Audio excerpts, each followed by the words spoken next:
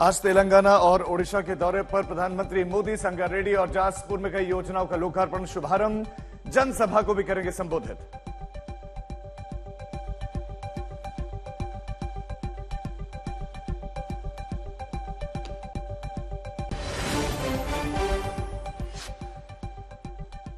परिवार को लेकर लालू के आरोपों पर पीएम का जोरदार हमला, विपक्ष पर टारगेट कर कहा, इंडी गठबंधन के नेताओं में मेरे परिवार को गाली देने का नया शौक।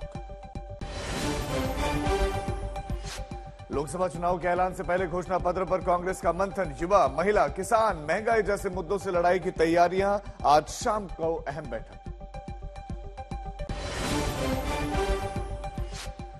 यूपी में आज योगी मंत्रिमंडल का विस्तार संभव, दारा सिंह चौहान समेत बीजेपी के तीन चेहरों को मौका मिलने की उम्मीद, आरएलडी से दो, जबकि एसबीएसपी कोटे से एक मंत्री पद की संभावना। और मध्य प्रदेश में राहुल गांधी की भारत जोड़ो न्याय यात्रा, देश में जातिगत एक्सरे को बताया ज़रूरी, दोपहर में उज्जैन में महाकाल के करेंगे दर्शन।